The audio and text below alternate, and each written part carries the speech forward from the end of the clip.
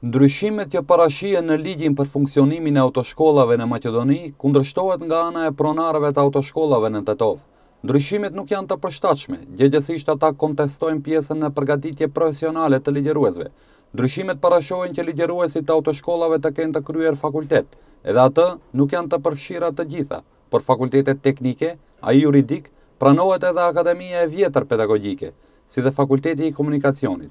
Krahas kësaj ligjëruesi ose ndryshe instruktori duhet të jetë i pajisur me të gjitha kategoritë, nga A deri në kategorinë D. Pikërisht në këtë pjesë kundërshtohen ndryshimet, pasi që sipas pronarëve të autoshkollave nuk duhet të jetë e detyrueshme që instruktorët të kenë të gjitha kategoritë, pasi që autoshkolla është vetëm për kategoritë B dhe C.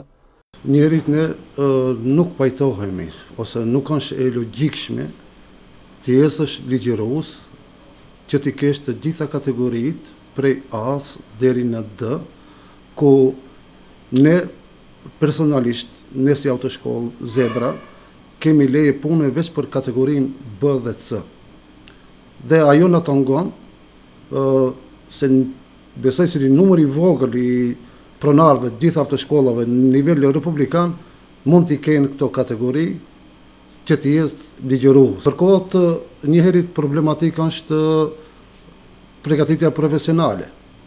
Duhet të, siç e dini dhe ma herët kemi patë vërejtje në atë drejtim, se pranohen vetëm katër fakultete adekuate, ë është një ndër ato duhet të jetë jurist, të jetë drejtimi i komunikacionit, ku nuk janë të përfshira gjitha fakultetet teknike, pastaj përgatitje duhet të ketë pedagogjia e përgjithshme, edhe akademi policore.